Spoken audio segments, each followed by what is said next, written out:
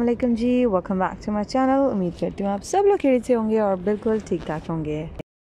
सो so जी आज मौसम जो है बहुत ही प्यारा ज़बरदस्त था तो हमने सोचा कि क्यों ना हम लोग बारबेक्यू के लिए चलते हैं। हमने डिसाइड किया हुआ था पहले आ, कोई कंट्री साइड जो इन मैं अभी नाम नहीं लूँगी इन फ्यूचर अगर हमारा प्लान बना वहाँ जाने का तो वो जगह मैं आपके साथ डायरेक्ट शेयर करने वाली हूँ।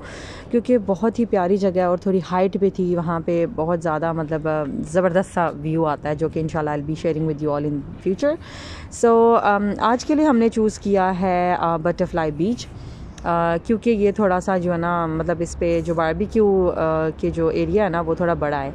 सो इस वजह से।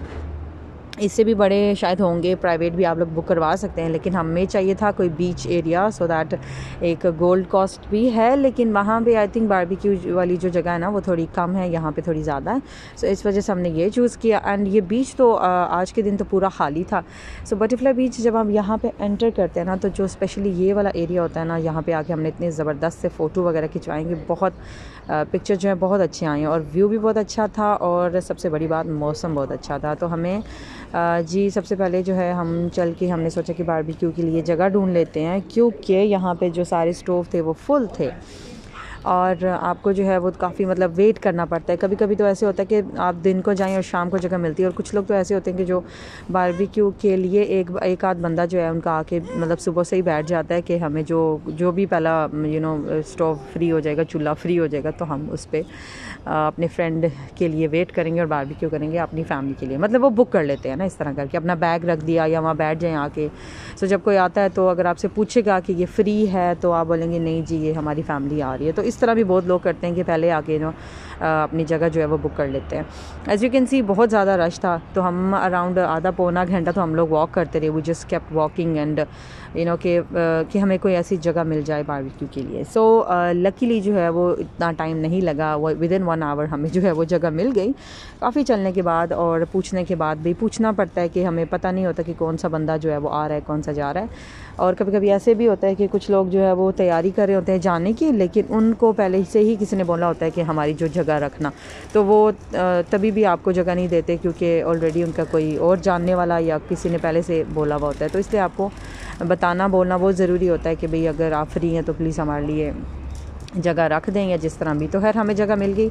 हम लोग अभी तैयारी कर रहे हैं बारबेक्यू सबसे पहले तो हमें ओबियसली आग यू नो जलानी होती है। यहाँ पे मिलते हैं स्टार्टर एक नाम से आता है, जो कि पाकिस्तान में तो आपको पता है कि आग जलाना थोड़ा यू नो मुश्किल हो जाता है। उसमें कोई ऐसा मिट्टी का तेल शेल लोग डाल के तो बड़ी वो, ज़बरदस्ती जल्दी से आग लगा लेते हैं। लेकिन यहाँ पर क्या होता है कि एडवांस भाई यहाँ पे ना एक स्टार्टर के नाम से आता है, एक चीज़ होती है, हम उसको हर स्टार्टर ही कहते हैं कि चारकोल कोयले के अंदर डालेंगे, आग के अंदर डालेंगे थोड़ा सा बेशक डालें अंदर वो बहुत जल्दी उससे आग जो है वो जल जाएगी बारबेक्यू के लिए। सो आपका टाइम ज़्यादा वेस्ट नहीं होता। तो जब भी आप बारबेक्यू करने के लिए जाएँ तो वो स्टार्टर तो आपको पता ही होगा, लेकिन वो बहुत ज़रूरी होता है तो उससे आग जो है वो जल्दी आपका टाइम नहीं ज़्यादा वेस्ट होता। तो ये देखें बीच के, जो हमारा, जब तक हमारी आग जलती ना मैंने सोचा कि आपको थोड़ा सा बीच का भी नज़ारा कराऊँ। बीच बहुत एमटी था और यहाँ पे क्योंकि संडे था तो लोग बड़ा आराम करने में भी आते हैं कि कैंप कैंप वगैरह यू नो जैसे कैंपिंग होता है ना वैसे करते हैं। टेंट वगैरह लेके आते हैं और सारा दिन बेशक आप कह लें कि अंदर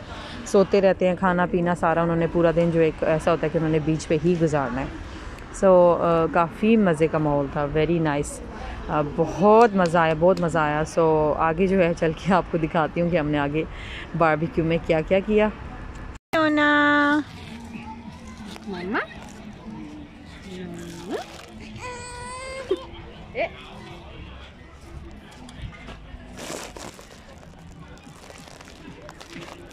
No?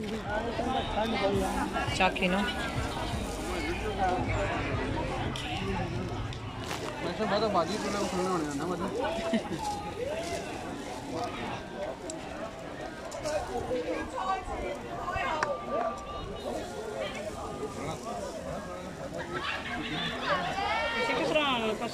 हाँ बस गर्म करना।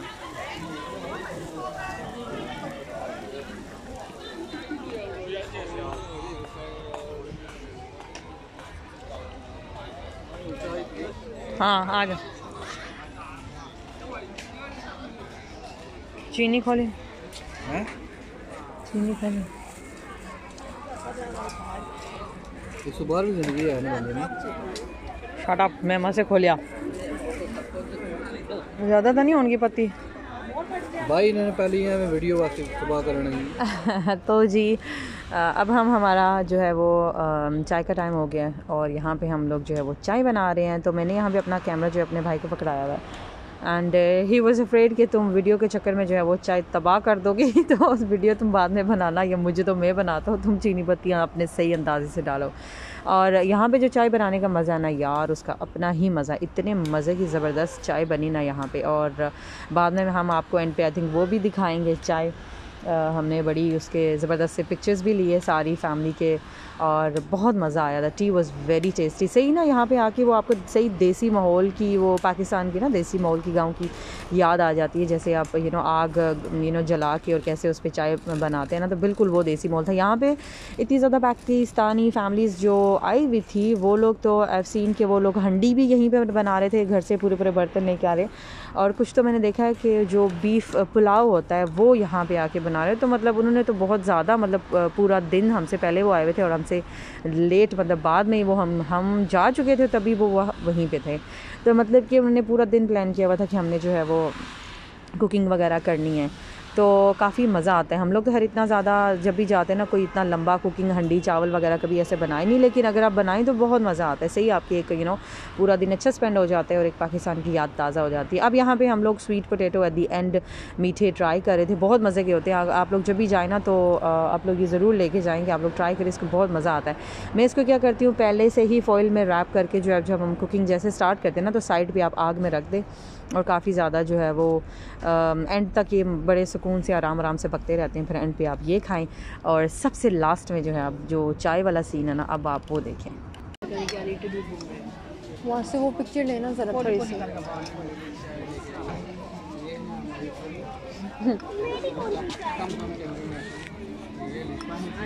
कम कम कैमरे में आती हूँ।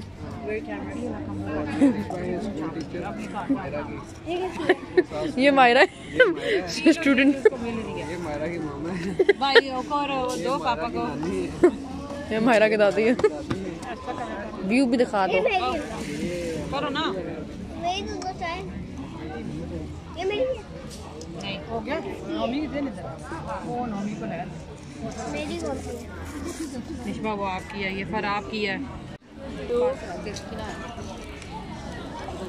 चाय तो दिखा अंदर से दिख रही है पास करो पास करो पास करो। अम्मी आप बात करो बहुत सेक लग रहा